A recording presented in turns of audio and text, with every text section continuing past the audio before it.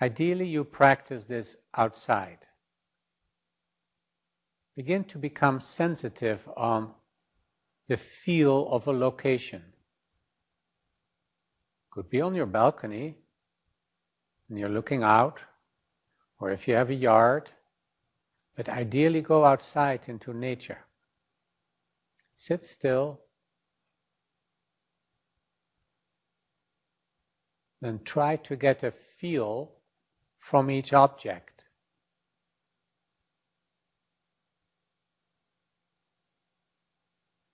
So take a tree or a plant.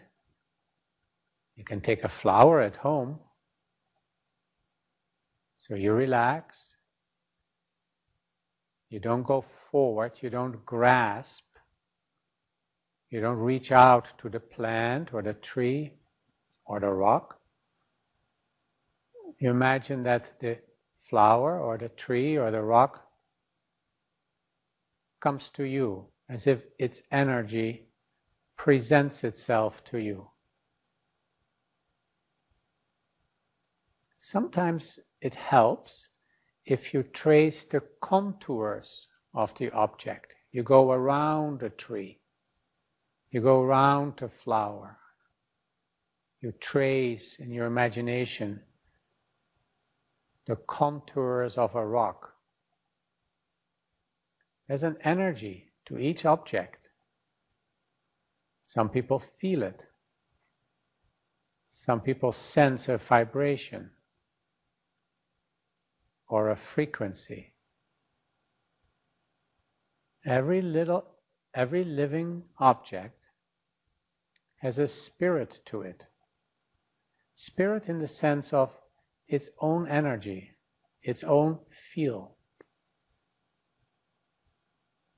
No two trees are alike, no two plants are alike.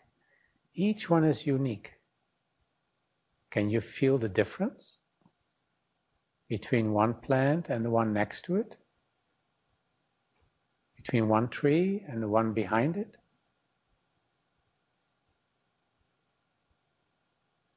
You don't make up stories, you just be quiet, be open, and invite them into your awareness.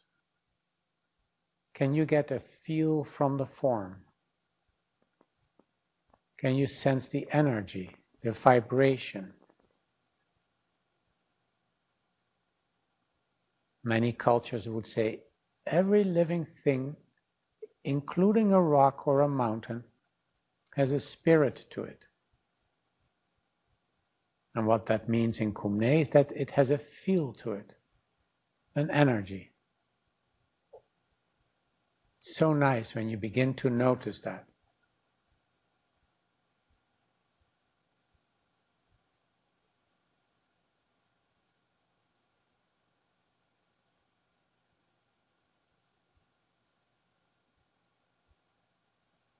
It is as if this feeling that is coming from the object has some knowing in it,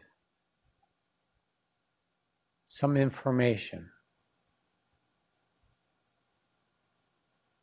Listen, feel.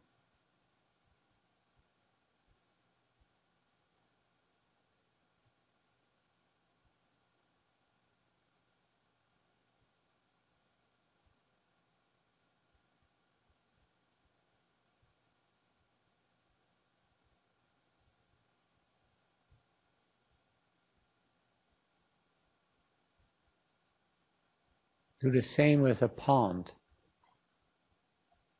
a lake, the ocean or the sea. Each locale has a feel to it. Let it communicate with yours.